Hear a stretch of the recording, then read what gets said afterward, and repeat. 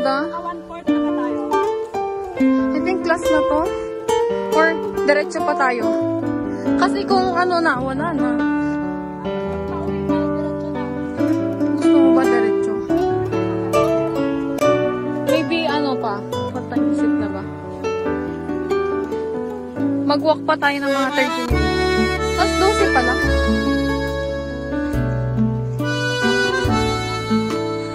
Pwede. Kain na lang pag-uwi.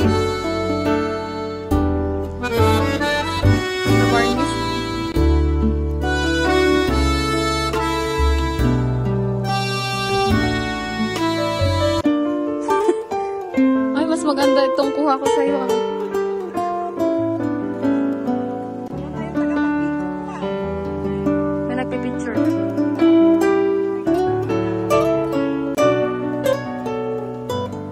Si Lona nagpipicture. Hindi ko alam kung sino focus niya. One minute pa lang to.